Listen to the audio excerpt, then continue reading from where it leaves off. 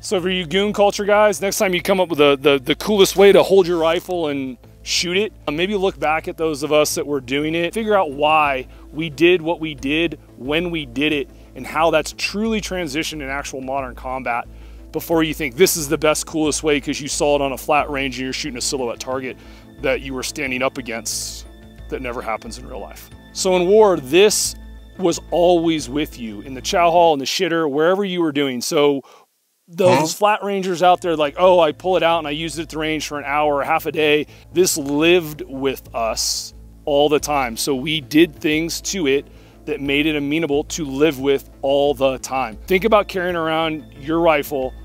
everywhere you go then we can have a debate on how you want to put your grip and do you want a suppressor and how long your barrel length is and what optic you want to run and, and this is the best buttstock in the whole wide world live with your rifle